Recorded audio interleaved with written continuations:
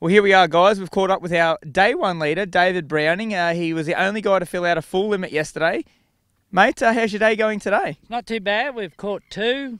It's slow, but we reckon we worked on about a bite an hour, so we're happy with that.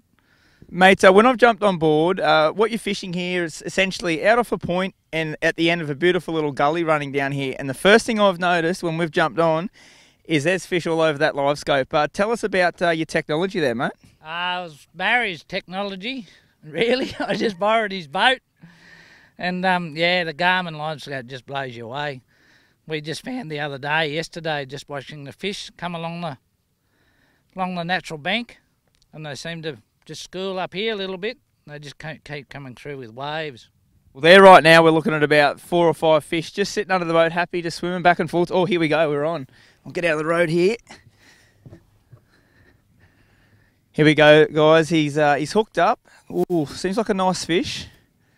And uh, the technique is hopping the ice jig off the bottom. Those small erratic little hops. Bridget's going to come in here and oh, it's a nice. Oh, it's a bloody beauty. get out of the road here. It's a really nice fish, this.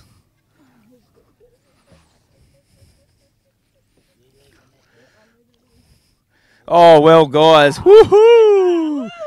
Look at that. That is an absolute cracker. That's that's the corker fish these guys needed. That is uh, on cue. Well done, Dave. Mate, talk us through. You must be feeling absolutely pumped right now. Ah, just we worked it out a bit yesterday. Technique. I tried to catch big fish early. Didn't work, so we thought we'd come and have a go at these smaller fish. And we caught that better fish yesterday in the same spot. Thought I'll just do the same thing again today. And that's the result. Well, there you have it, guys. Uh, this is going to make for a super interesting weigh, and I can vouch that he's going to have uh, a pretty hard to beat fish here. So uh, definitely check out that weigh in at one o'clock.